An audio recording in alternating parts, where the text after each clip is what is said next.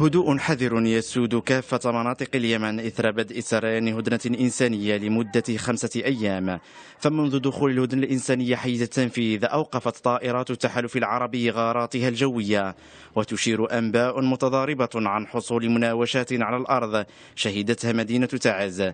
الشارع اليمني يعول كثيرا على تفعيل الهدنة الإنسانية من أجل إيصال المساعدات ووقف العنف. أي هدنة؟ إلى متى نظل بالهدنة؟ على أي أساس توقف الهدنة؟ ماذا بعد الهدنة؟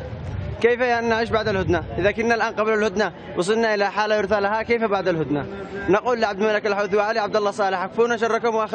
واليمنيين والدماء التي تزهق هي دماء هي هي دماء اليمنيين.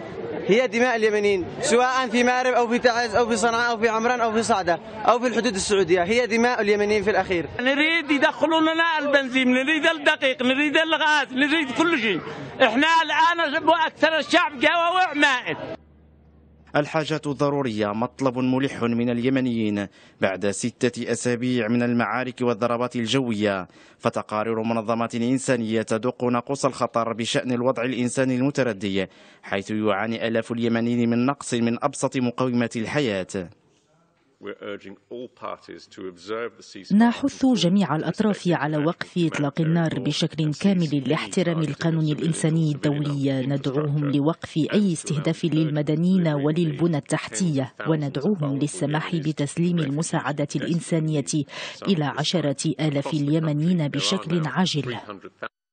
وفي غضون دخول الهدنة الإنسانية حيز التنفيذ تعود إلى الواجهة محاولات إحياء الحوار السياسي.